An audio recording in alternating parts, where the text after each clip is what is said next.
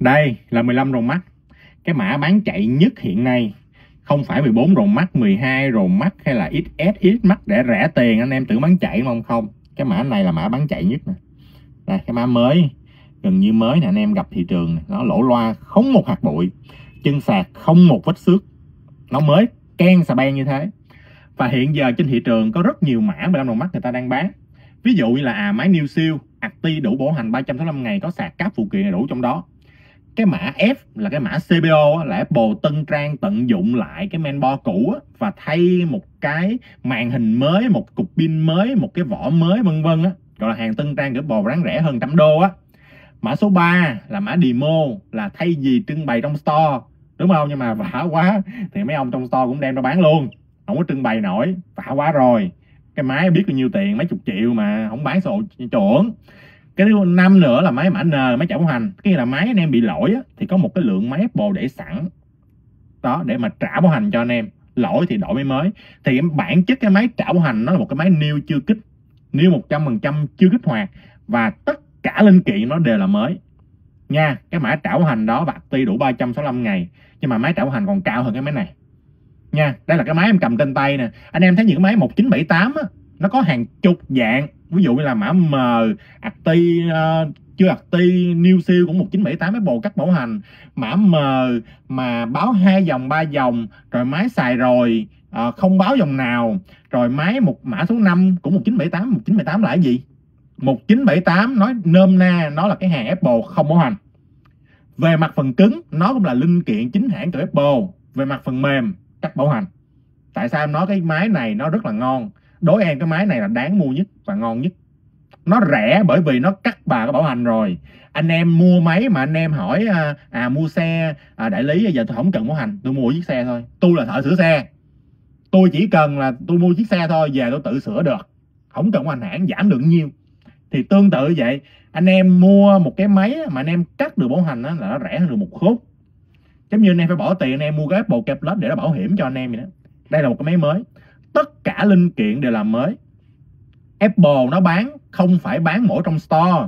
Có bán cho đại lý nữa có bán cho người dùng nữa. Và đại lý không phải bán mỗi hàng new siêu bắt buộc phải bán à ví dụ đặt một triệu màn hình giờ bán hoài bán hết lắp lại bán cắt mẫu hành bán 1978 để đặt hãng thì cái tiến độ mà anh em đặt của bên nhà cung ứng á, ví dụ màn hình lấy có Samsung BOE chip lấy có TSMC các kiểu. Nhưng mà cái cái khả năng bán của anh em nó không phải, gọi là, nó đúng tiến độ. Thì anh em cứ phải lắp lại những cái linh kiện à trong kho còn gì? Còn trăm ngàn màn hình, đúng không? Lắp hết, trăm ngàn màn hình vỏ men vô hết. Rồi cái men nó men mở mờ, đúng không? Chạy về mã số 5 đó là điều luật cái legal của mình nước ngoài nó bắt như thế. Mà để một cách Apple nó minh bạch với người dùng. Chỉ cái Apple có quyền năng là chạy một cái mã khác về mã số. Kiểu như là máy CPO vậy đó. Cái men của đó là một cái men mà anh em ờ, tới cái men cái men cũ đi. Máy mã M, mã N đi anh chạy một phát về mã ờ, F mã CPO Apple có quyền năng đó. Mà thành từ cái men cũ mà thành men chưa kích luôn.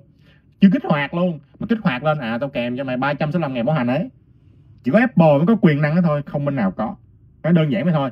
Và đối với em, đây là mã số 5 em nhắc lại nữa, đây là một cái máy new 100% chưa kích hoạt. Kích hoạt lên, không có một ngày bảo hành nào hết. Của hãng. Tất cả linh kiện đều là mới, màn mới, men mới pin mới, vỏ mới, không một vết xước. Đó, anh em thấy không? Đó, không một vết xước. Và bản này thậm chí có, nó có khay sim. Tất cả đều mới. Ví dụ anh em mở ra, em mở ra em thấy là cái màn hình của nó, cái keo nó còn mới, nó không hề có bụi và xài lâu, keo nó bị vàng đi.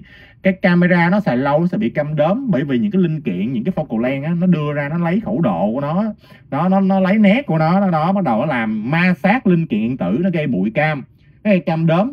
Em lấy một cái máy new, em đập hẳn nó luôn máy này, tách hẳn cái camera luôn, cam mới không một hột bụi. Không hề bị ma sát, còn mới tinh cục pin mới không đừng sạc, vân vân. Trong cài đặt không báo bất kỳ dòng nào hết. Cam trước, cam sau, men không mẻ, không dấu vân tay.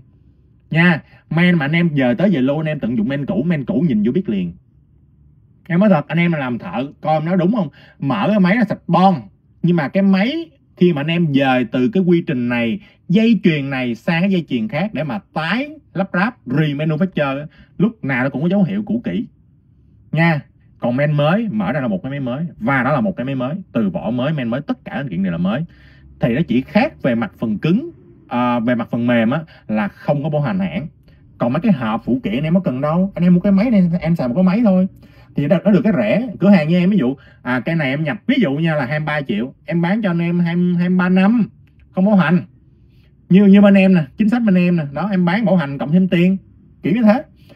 Nếu mà anh em mua những cái máy trên thị trường hiện giờ á, mà máy new CVN á, hay là máy new cvl á, mà 15 15 đồng mắt hiện giờ thấy hơi phí.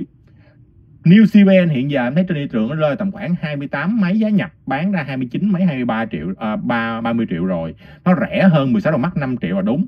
Bởi vì 16 đồng mắt nó có cái nút còn control em dùng chữ tròn tròn trong ờ, uh, tròn uh, ờ, đùa đùa đấy.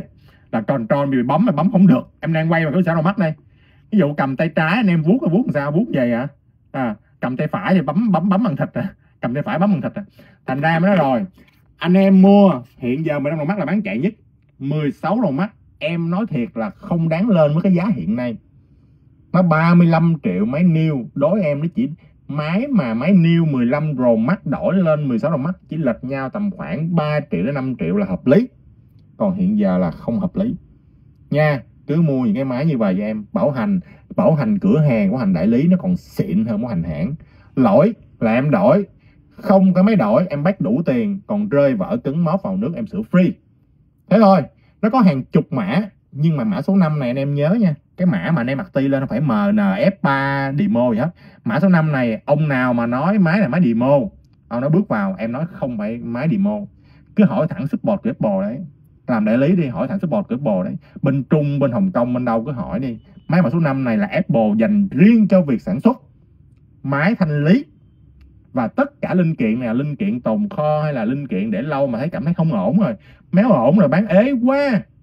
Phải lắp lại bán liền 1978 cắt mẫu hành cho nó nhanh. Rồi vậy thôi. Hôm nay em có 15 rồng mắt à, 4 màu em quên. Em quên bà đã cầm cây một lưu rồi. Có màu đen màu trắng với là màu xám thôi.